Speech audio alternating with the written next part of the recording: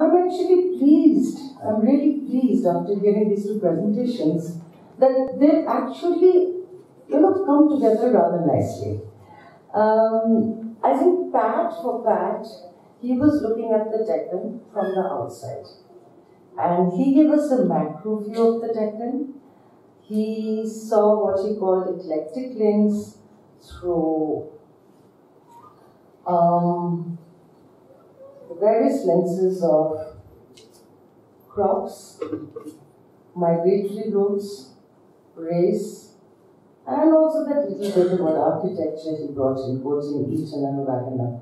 So, what Pat was talking about is how a very eclectic identity of the Deccan has been constructed over time.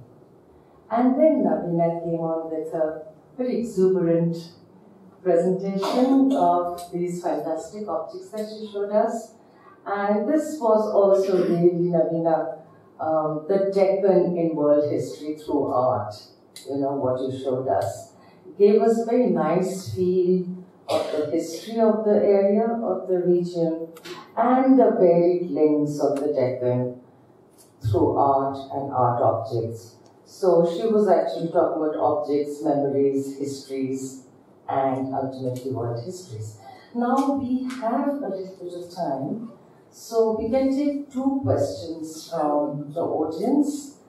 Uh, no, I think just two would be. I'll, if you allow me, I did test.